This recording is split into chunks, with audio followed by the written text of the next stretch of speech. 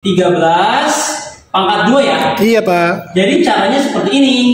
Kalau dua digit seperti ini biasanya 1 2 3. Oke? Mengisi yang belakang, yang belakang kita kuadratkan. Kalau 3 pangkat 2 itu berapa? Berarti 9. 9. Oke, tulis di belakang. Yang tengah, kita kalikan semuanya. 2 kali 3 berapa? 6. 6 kali 1. 6. 6 ya yang depan kita kuadratin. Satu kuadrat berapa? 1. Oke. Jadi 13 kuadrat sama dengan 160. 9. Berapa lagi? Kalau 25, Pak? Kalau 25 kuadrat sama ya, seret, seret, seret. 5 pangkat 2, artinya 5 kali 5. 5 kali 5 berapa? 25. 25. Kalau hasilnya 2 digit, yang 5-nya kita tulis, 2-nya di sim. Simpan.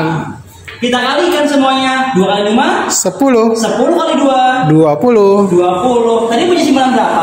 2. 20 tambah 2, 22. 22. Yang 2-nya ditulis, 2-nya di sim. Simpan. Yang yang depan kuadratin.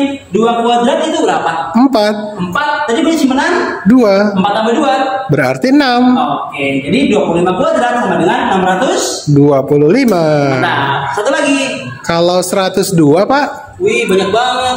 Coba ya. 102 kuadrat.